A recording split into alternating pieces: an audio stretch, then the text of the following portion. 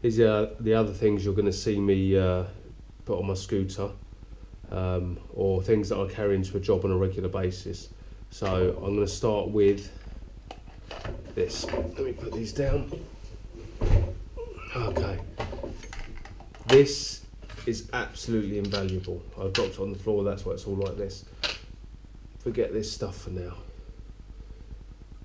As a breakdown engineer, you need one of these. You need it to, uh, for instance, undo the uh, inlet test point of a Vaillant Ecotec gas valve. Okay, that's exactly what it's set up for right there, is a Vaillant Ecotec gas valve. Um, for getting into the inlet test point. And straight away on my box, so that's what you need to uh, set a Vaillant Ecotec gas valve.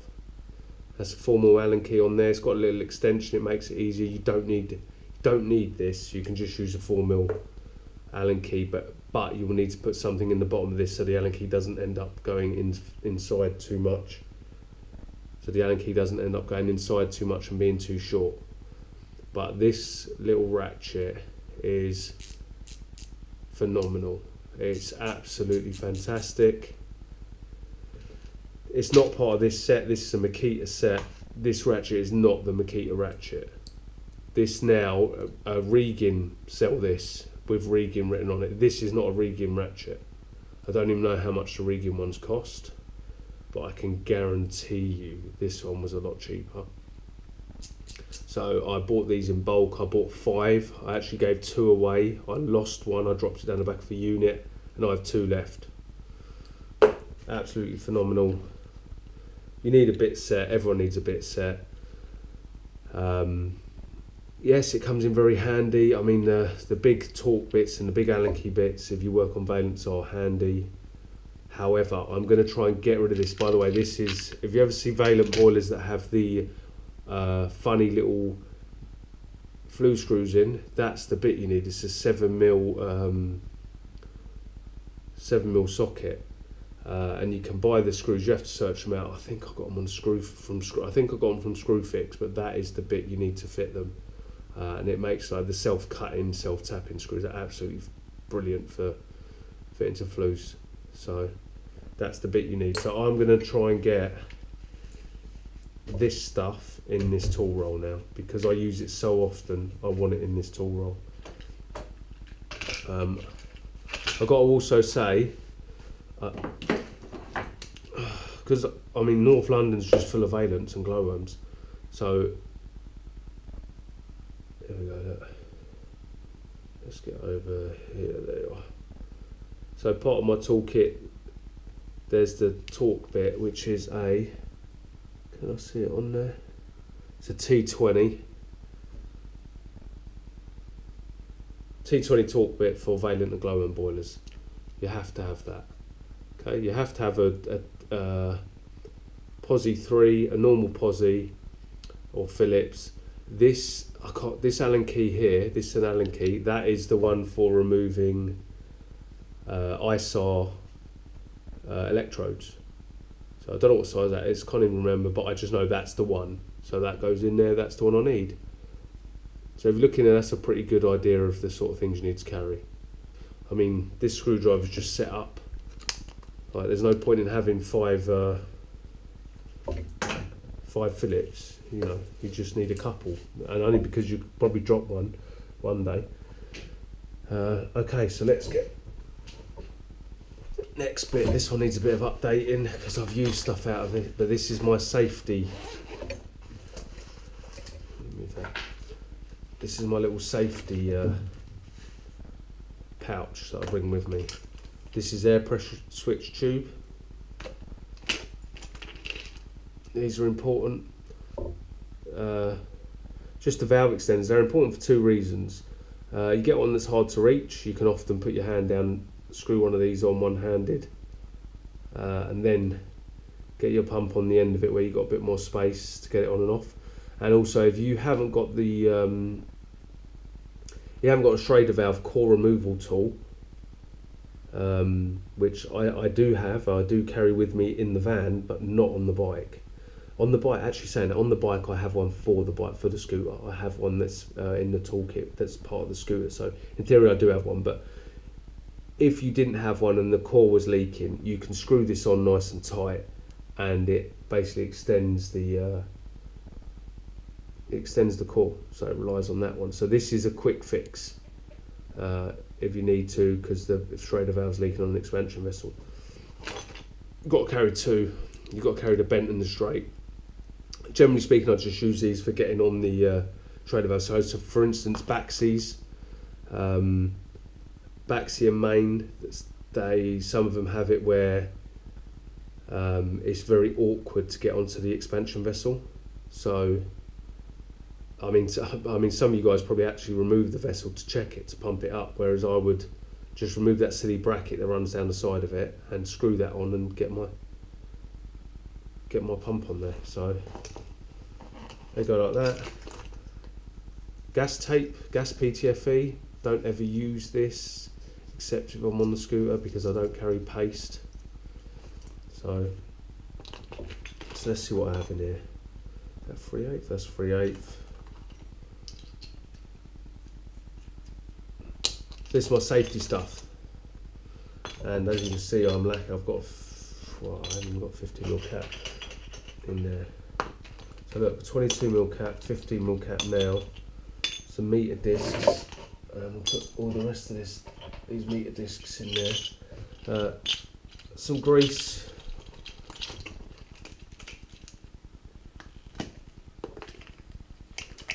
This has pellets and matches because you never know when you're going to need them. And if you're like me and you work on a scooter, you need to know you've got them with you because it happens. You turn up to a job to do something to a boiler, and you know the, there's all soot marks above the fire. Well, you've got to deal with it. So I don't smoke, but I carry a lighter for simply lighting the pellets and matches. And I'm lacking in this. I need to get a 22mm nut and olive for that. I need to get a half inch is that half? That is half inch. I need to get a half inch uh, cap. I'll need to get, see that's 3 8 isn't it? I need to get some quarter inch stuff as well. So this needs to have more stuff in it. I also usually carry a roll of PTFE in there as well. So. Okay. So next, this is my analyzer bag. Now this used to be my analyzer bag when I was on the scooter. It's now become my normal analyzer bag. However, this handle is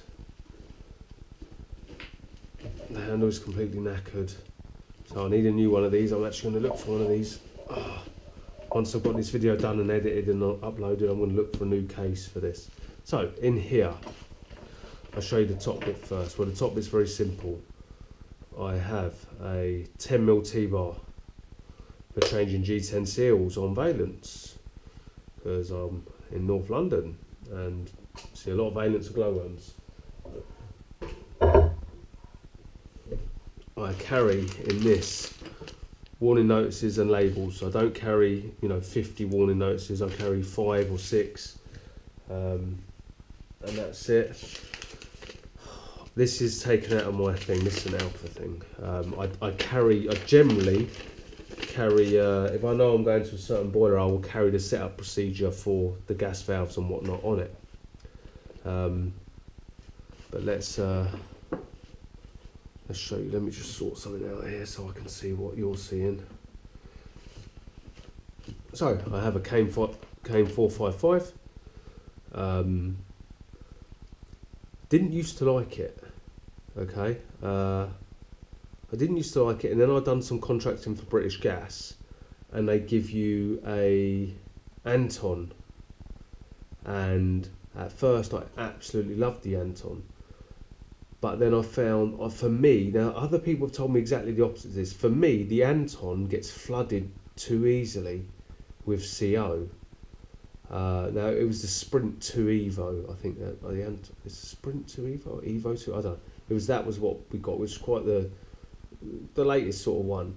Anyway, um, so I found they would get flooded with CO too easily, uh, and so I'd get flooded with CO and it wouldn't be coming back down. I'd walk out to the van, get my 455 and set the boiler up. Quite simple. And right, for any of you that are up my way, I can. Oh, they've taken the sticker off. Damn it! I could really recommend a company that are up here, but they're in Harlow. Oh, oh, Joe, what? They sell them dirt cheap. They look after them. Uh, they do a while you wait calibration service. Yes, while you wait. You pay an extra 20 quid, I think it is, and you can only do it on Tuesdays and Wednesdays or something. But you drive up, give your analyzer in, sit down and have a coffee, you know, mess about on YouTube, and, you know, 40 minutes later they're calling you in because they've done it.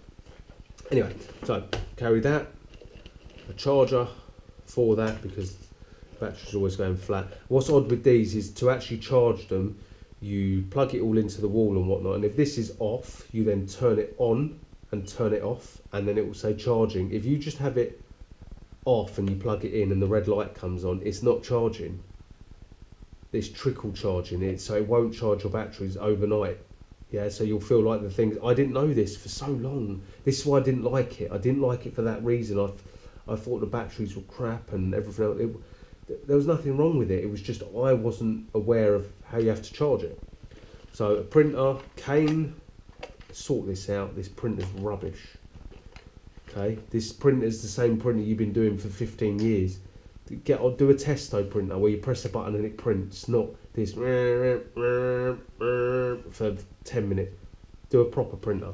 Okay, there I carried a Worcester um, heat exchanger brush because for me that's better than one of them round brushes with the thing. I prefer this. I use this on everything. It's good for cleaning burners and whatnot off.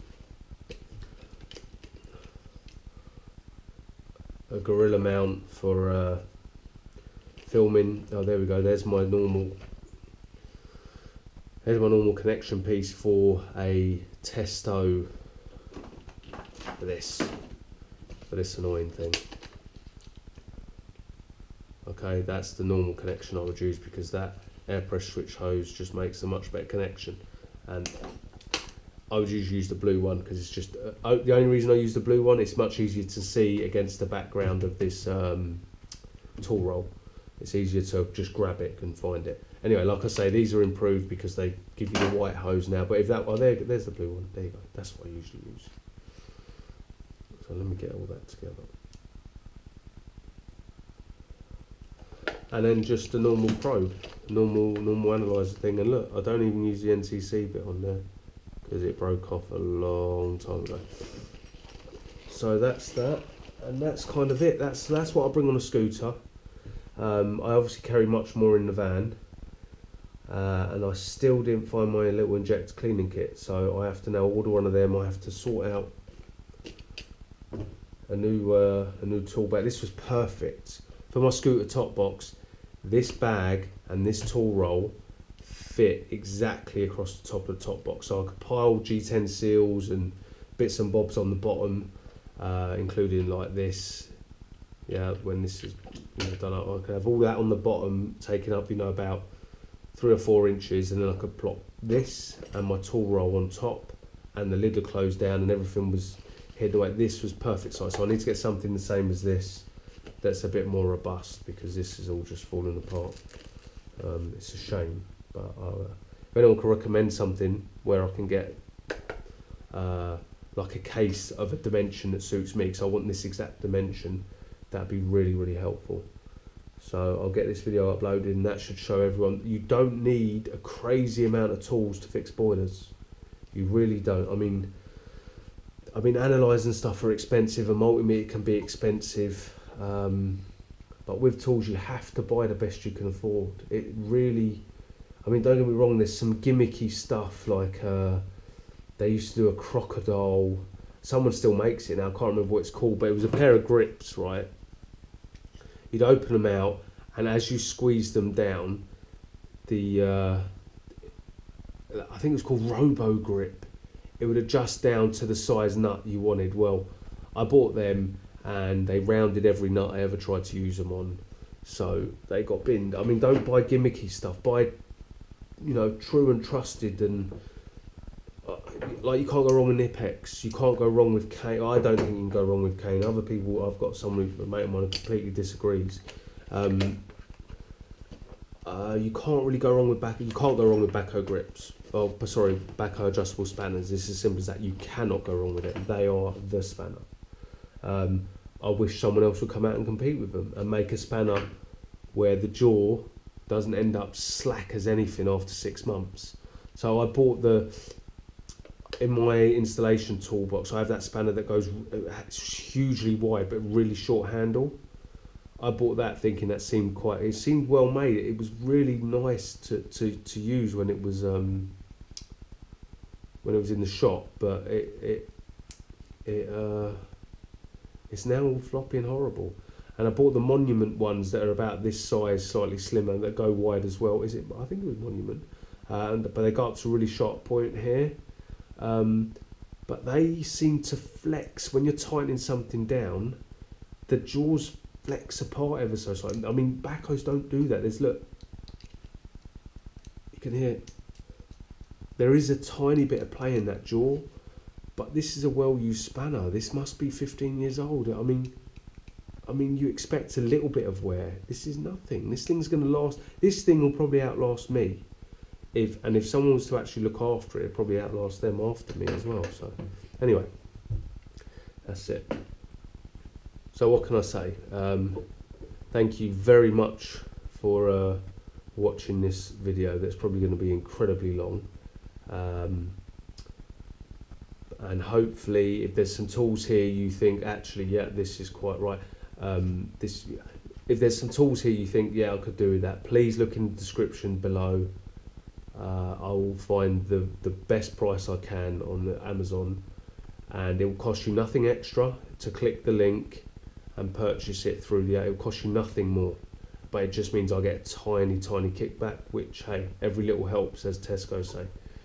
So thanks a lot, guys, and um, I'm sorry it took so long to do, and hopefully it's worked because I had my GoPro on looping, so that might have you know, ruined everything.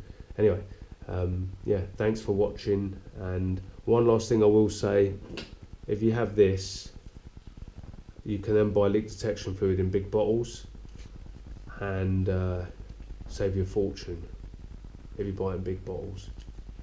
So, thanks a lot.